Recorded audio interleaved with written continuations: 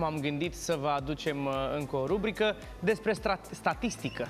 Îmi place mult statistica, așa că vrem să vedem ce s-a mai întâmplat în uh, prima parte a anului sau mai exact în luna aprilie. Ce s-a căutat pe internet, care au fost cele mai căutate proprietăți, cele mai vândute proprietăți, pe unde, ce procente, prin ce orașe, imediat vă zic ca să vă faceți uh, o idee. În înainte de a vă reaminti de campania pe care o găsiți uh, pe homes.ro, o găsiți pe landing page-ul de acolo, e o campanie în zona de chirii, sunt zeci de oferte cu prețuri speciale pentru apartamente, două, trei camere, studiouri, garsoniere, case, vile, dar și alte spații uh, de închiriat.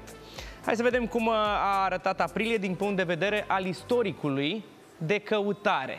Fiți atenți, 60% partea aia mare din pălărie, din cum îi zice, nu mai știu cum îi spune chestia asta rotunde, 60% din București, pentru că uh, uh, București rămâne pe primul loc în căutările voastre, pentru că sunt cele mai multe proprietăți de vândut și de închiriat acolo. Urmează Cluj-Napoca cu 15%, urmează Timișoara cu 10% și Iași, Brașov, Constanța, Sinaia cu sub 5%. Vedeți acolo, aveți un 2, 2 și un 1 mic acolo la Constanța.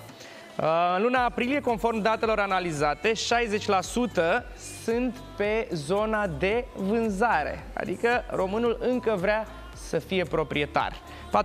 40% zona de închiriere. Uh, și nu uitați de campania activă pe homes.ro pentru chirii în special. Poate aducem și facem 50-50 chiria cu um, uh, vânzarea. Ce tipuri de proprietăți s-au căutat în funcție de segment, vânzare sau închiriere? Aia așa, garsoniere care se remarcă în zona de închiriat. Vedeți că închiriarea e cu albastru, vânzarea e cu portocaliu. La garsoniere lumea caută să le închirieze mai mult, 71% față de 29% care vor să cumpere. Se schimbă treaba însă la apartamentele cu 2 și 3 camere. Lumea preferă să le cumpere pe astea, 60% două camere, 81% cu 3 camere și uh, restul procentelor sunt pentru închiriere. 71% v-am zis că arsonierele le dețin pe partea asta de închiriat. Asta înseamnă că lumea caută pe cele mai ieftine uh, pentru că nu vor să stea foarte mult uh, în ele. Și aveam și o statistică interesantă.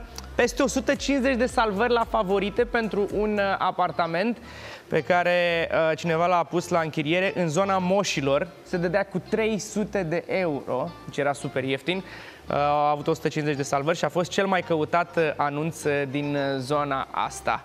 Cam asta s-a întâmplat în luna aprilie pe homes.ro. Nu uita, acolo poți să găsești de vândut, de închiriat, de cumpărat, pentru că se pare că uh, în România încă se preferă cumpăratul, să avem proprietate, să fim noi stăpânii casei noastre. Cele mai mari prețuri, cele mai mari reduceri, cele mai mici prețuri le găsiți pe homes.ro. Duminică vă mai povestesc că Uh, de câteva proprietăți pe care s-ar putea să le cumpărați sau să le închiriați dacă vă interesează. Răzvan?